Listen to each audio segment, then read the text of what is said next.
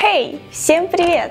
Я очень рада сейчас опять снимать видео, потому что всю неделю я делала фотографии, о которых я сейчас вам и расскажу. Итак, это история о моих фотографиях, которые я создаю, и первая фотография была навеяна модой.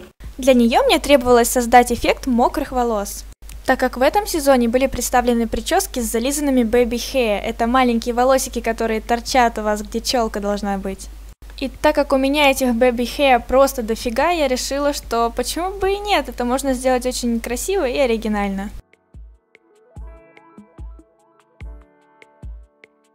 Зализывала я их около 40 минут с помощью лака для волос. Очень муторная работа, но она стоит того.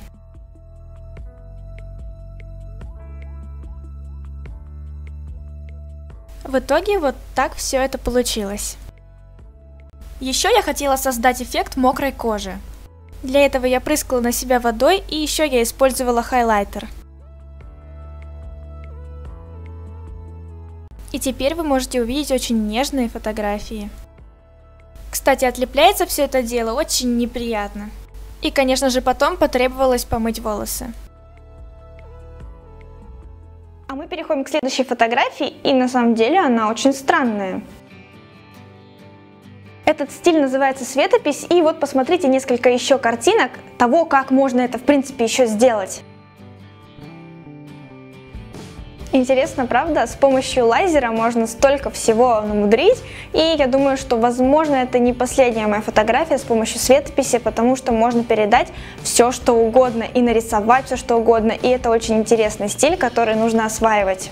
Для того, чтобы воплотить такую фотографию, мне понадобился темный фон, так как лазер на белом виден лучше, чем на черном. А я все-таки светлокожая, поэтому лазер оставался на мне, а на черном фоне нет. И дальше, возможно, кто-то из вас спросит, а как же так получается, что фотоаппарат фотографирует, а ты за это время успеваешь нарисовать что-то лазером? Так вот, ставится настройка 30-секундной выдержки, это самая большая, что есть на наших фотоаппаратах, по крайней мере. Что это такое? Ну, кратко говоря, фотоаппарат просто фотографирует в течение 30 секунд один кадр. И если он стоит на штативе, ничего в кадре не должно меняться, кроме этого лазера. То есть я стояла абсолютно неподвижно, специально.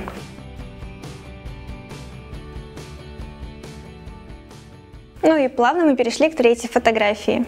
Это очень милый и нежный образ. Я напоминаю себе здесь Алису в «Стране чудес». Вся идея этой фотографии заключалась в том, чтобы я выпила чашку с часами. Для меня эта фотография означает, что время в наших руках, и зачастую мы выпиваем его понапрасну. Сложность была в том, чтобы заполнить всю чашку часами, но я справилась.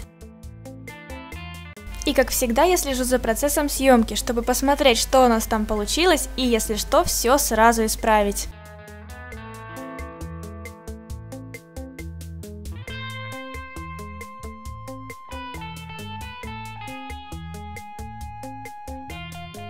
И как обычно, фотографий получается очень много, но я выбираю одну или две и выкладываю именно их.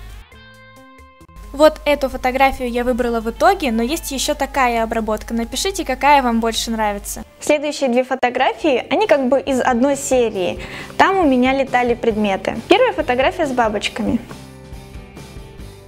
Для этой фотографии мы приехали на поле, чтобы сфотографироваться на фоне чистого неба. Эта идея пришла ко мне очень просто. Я купила эту майку с бабочками, вообще не думая о том, что я могу сделать фотографию с ней. Но когда я выбирала одежду для фотосессии, я такая, о, майка с бабочками. И тут мне пришла идея о том, чтобы посадить бабочку себе на язык. Это просто пришло в голову, бах и все. Так что вы меня спрашиваете, откуда твои идеи?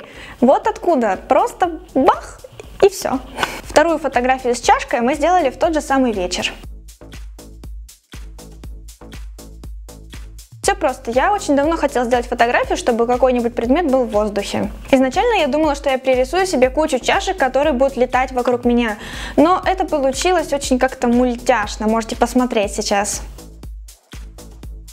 Поэтому я все переделала и расплескала кофе от своей руки.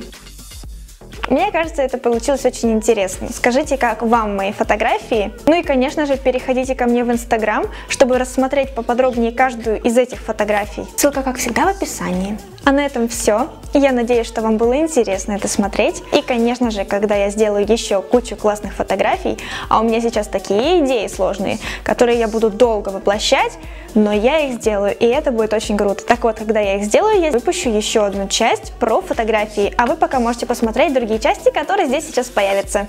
И, конечно, подписывайтесь на канал, я много снимаю видео, фото. И все. Всем пока!